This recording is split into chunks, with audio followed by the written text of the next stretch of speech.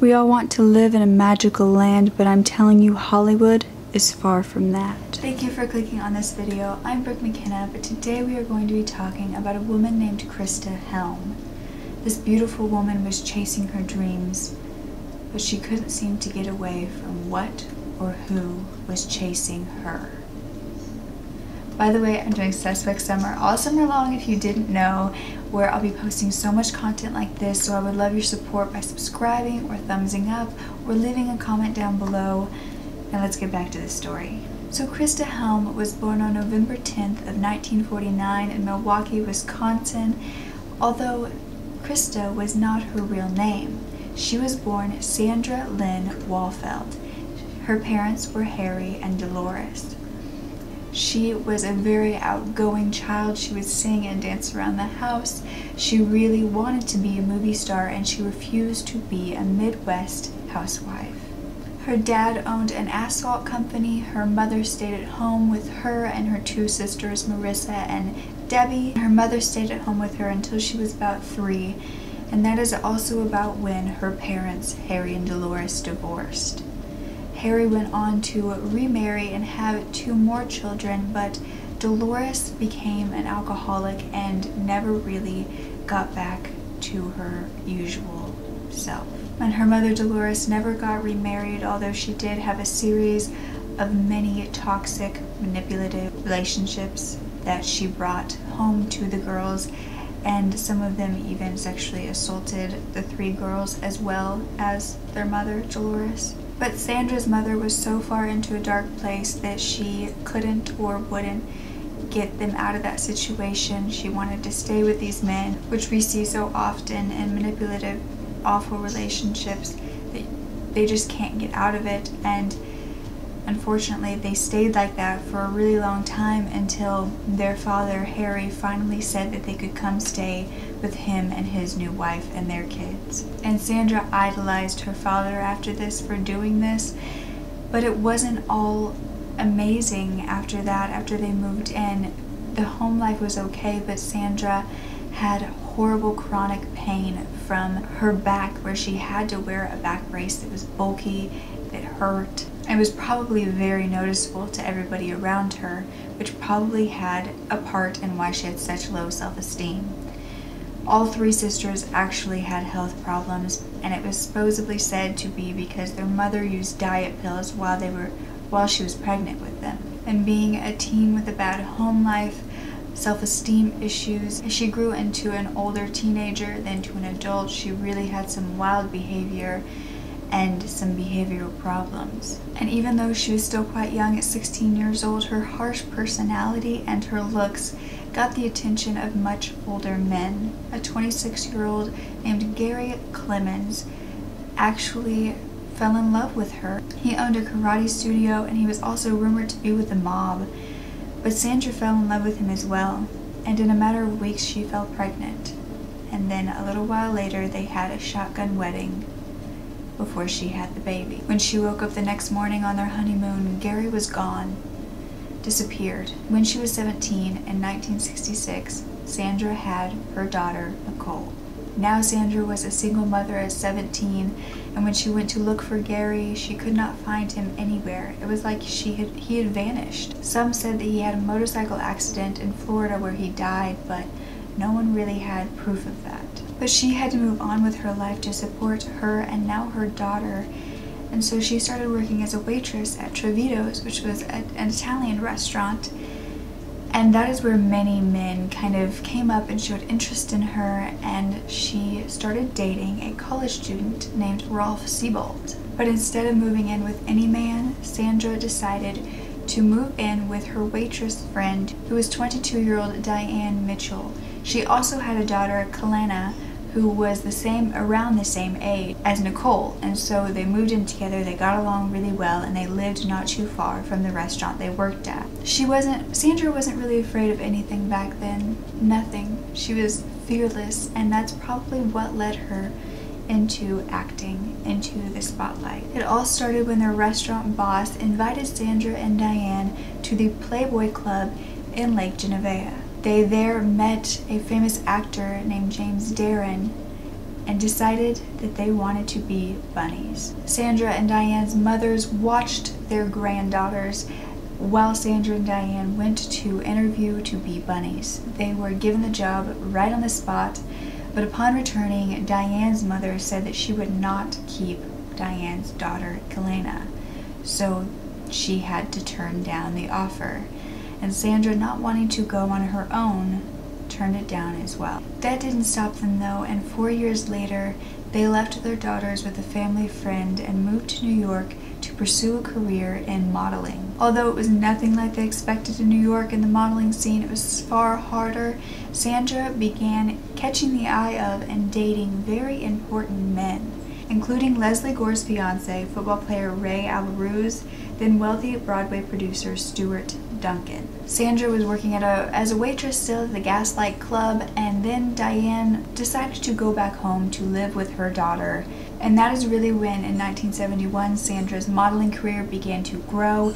Her producer boyfriend was working on a popular show called Godspell. He let her invest money in it, and when it did so well, she got a whole bunch of money back. So Sandra was really no longer struggling. She got herself a nice apartment, Corvette, she had a fancy boyfriend, was living a more lavish lifestyle, and a year later her boyfriend actually bought her a house in the Hamptons that was where the celebrities lived just because he wanted to show how much he loved her. Around this time, she also got a boob job, and that is when she invited Diane back to see her house to have a little sleepover, to have a weekend getaway, and that is where she told her that she was changing her name to Christa Helm. When asked why, she said that an astrologer just told her to do it, so she was going to. She seemed like she had everything she wanted. She was even crowned Bachelorette of the Month in Cosmopolitan.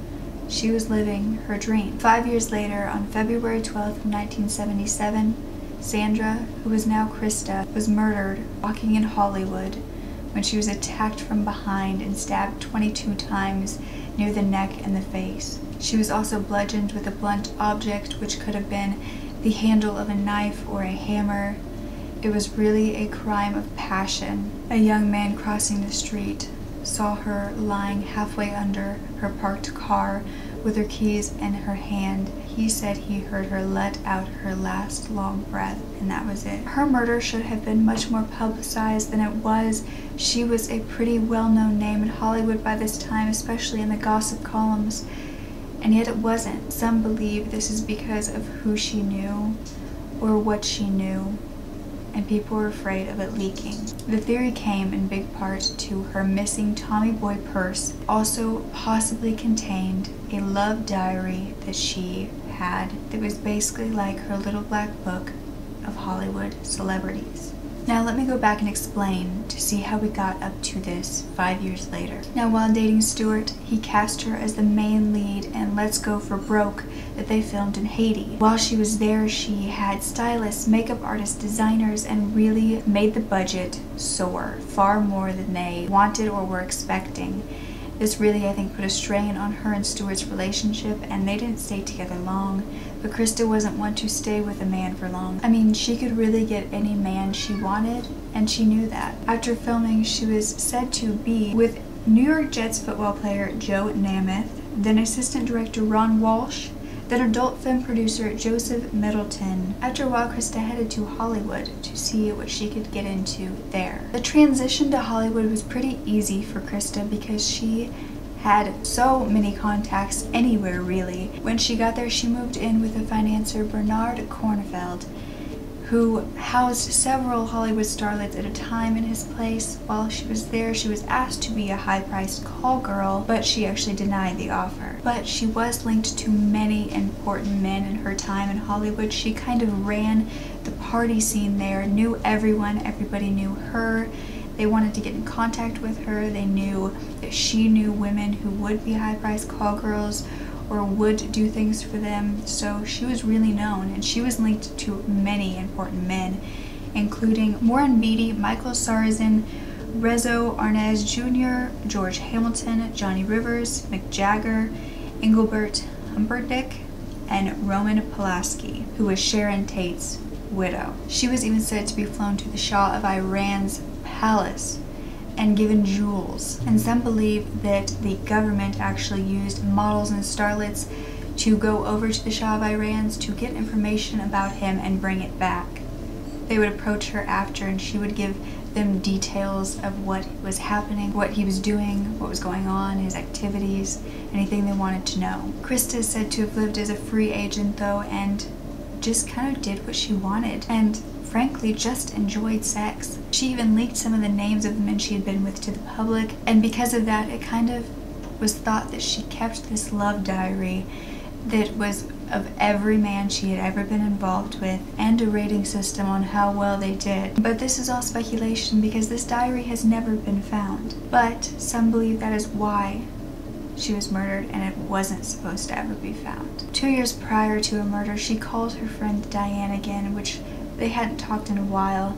She called her and she told her she was dating Michael Sarrazin and didn't really talk for long and when Diane said she would call Christa back, she tried and the phone was disconnected and that was the last time she ever talked to Christa. Although she was great with the social scene, with her connections, her acting career really never took off.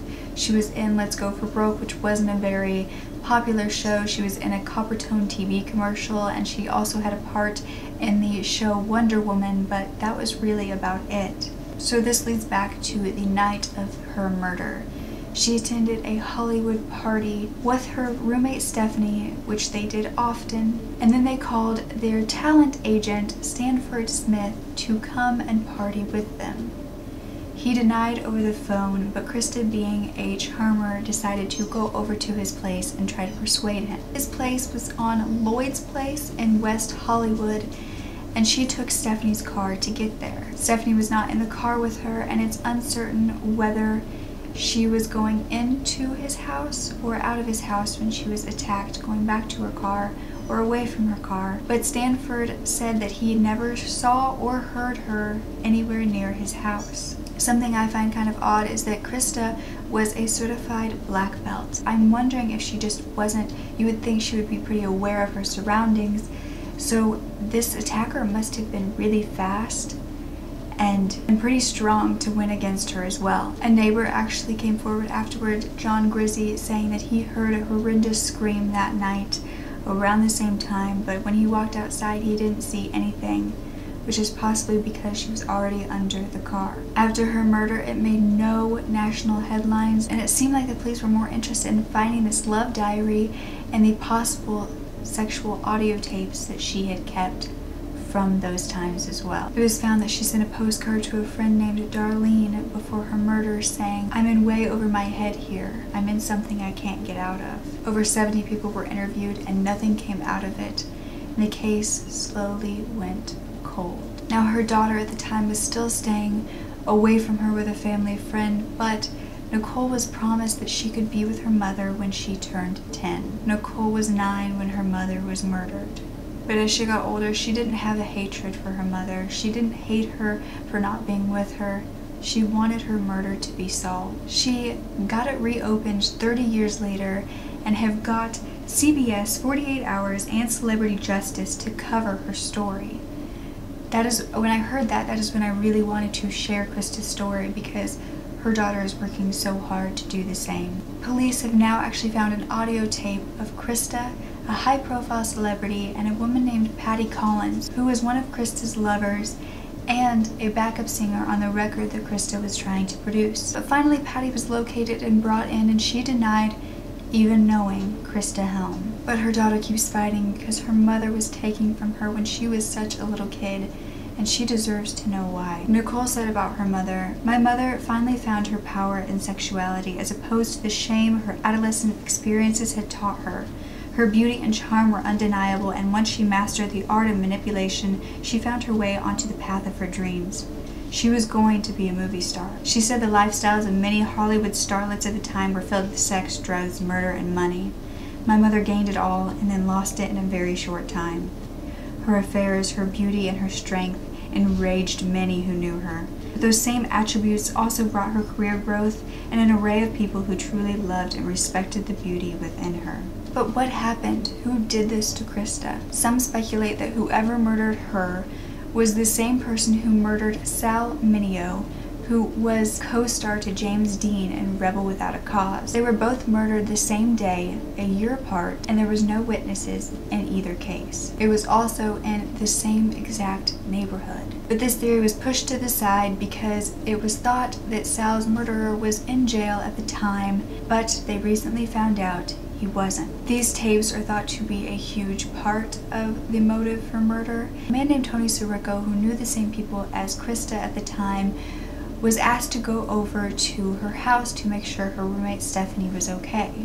He left the house that day with tapes, as well as fur and clothing from Christa's room. Police never questioned him back then, but in 2006 when this was reopened, he was brought in where he denied everything and wouldn't say a thing even though they told him he was not a suspect. In 2007, some of Christa's missing things showed up at her best friend Lenny's house, except the diary and the tapes.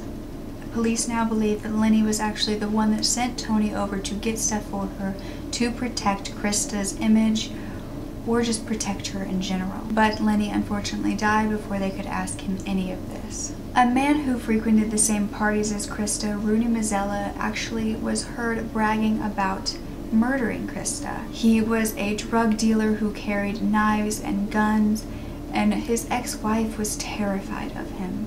But when he was brought in, he denied actually having any involvement, and the police kind of came to the conclusion that he was the type of person to say he did whatever he needed to say to be more powerful or to seem that way. It was also speculated that it could have been one of the men that she was with's girlfriend or wife that was really angry at her for ruining their relationship or getting in between it. And the DNA that they have tested under Christa's fingernails because she did put up a fight was found to be of a woman just recently. The woman that I was telling you about before, Patty Collins, the one that denied even knowing Christa, was tested. I haven't heard anything to say that it was her, so I'm assuming that it wasn't. This case is still unsolved to this day, and if you have any information, contact the Homicide Cold Case Unit at the Los Angeles County Sheriff's Department at 323 890 5500. So, what do you think led Christa Helm to this place, and who do you think did this to her? Do you think it was because of this love diary? Do you think it was because of what she did with someone and what they didn't want anyone else to know? Or do you think that this was just a random person that had hatred for her or just people in general? I really hope I did Christa's story justice, Christa or Sandra, because her daughter is working so hard to get it out there again, to get it solved. And I just hope that one day it is. She was a beautiful woman who, yes, did irregular things. She wasn't the usual nice girl, but not everybody has to be, and that was how she loved to live. So I hope none of you in the comments judge her for how she chose to live because I think it's beautiful when you're yourself and nothing but, as long as that means you're kind. As always, leave your theories down below. Be kind to the family because Nicole is still alive and well and wanting her mother's murder to be solved. But I thought this was a very interesting case, and I would love to hear what you think about it down below. And remember, I'm doing suspect summer videos like this all summer long, so please make sure to subscribe so you never miss one. Thumbs up to let me know you like them, and I'll let you guys go. Bye. Beautiful places are just a facade for strangers. The people who live there soon know of their dangers.